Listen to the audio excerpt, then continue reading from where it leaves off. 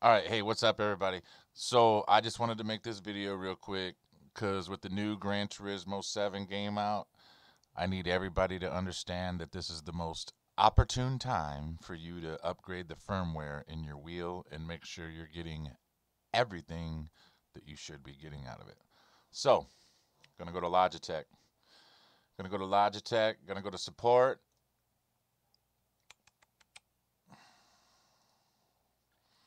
uh, downloads.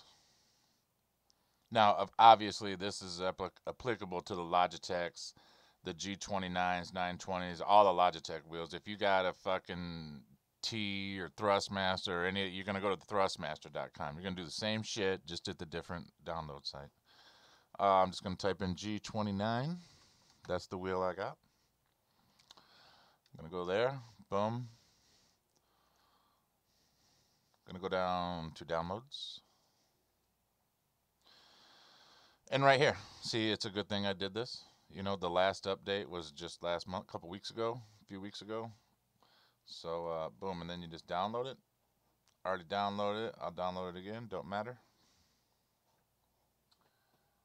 Um, open your download when you're done.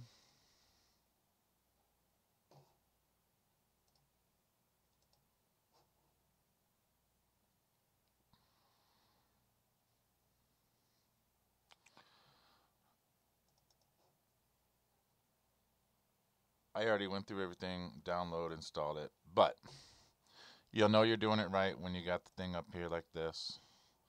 And then boom, this is where you're going to see, you know, all, you, you, there's all kind of shit you can do here. You know, it's, it's crazy. Um, this is how I got my shit set up for right now.